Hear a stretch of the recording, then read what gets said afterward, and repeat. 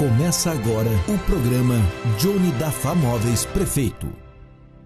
Eu tenho cinco anos, eu caí de cima da casa, quebrei 22 nós da coluna e eu precisei de um, de um raio-x aqui do, do lado da barriga aqui, pedi urgência, o médico pediu urgência.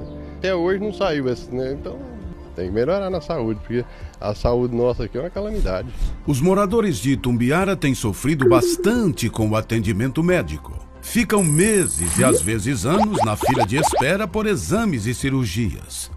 Com Dione na prefeitura, vamos implantar o projeto Fila Zero. Dione vai fazer a gestão correta dos recursos públicos, vai valorizar os profissionais que já trabalham na rede pública de saúde. Oferecendo mais atendimento, vamos acabar com a fila de espera dos moradores. Vão ter mais exames, mais cirurgias.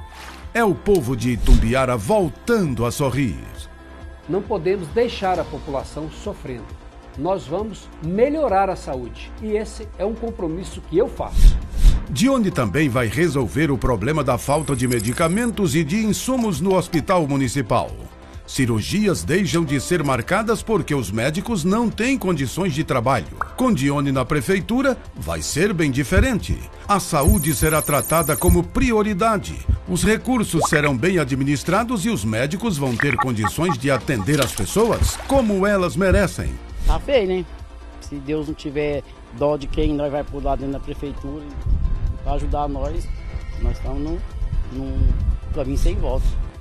Dione vai resolver também o problema da falta de medicamentos. Vai modernizar o sistema de gestão dos remédios oferecidos gratuitamente nas unidades de saúde. Não vai mais faltar medicamentos nos postinhos. Você vai transformar essa cidade. Eu tenho a certeza disso. Essa cidade precisa de uma pessoa do perfil do Johnny. Eu conheço o Johnny. Ele vai ser fundamental para nós alavancarmos o retorno dessa cidade. Essa cidade voltar a brilhar, essa cidade passar a ser referência de boas notícias.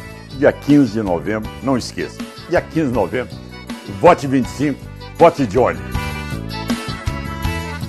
Vote 25!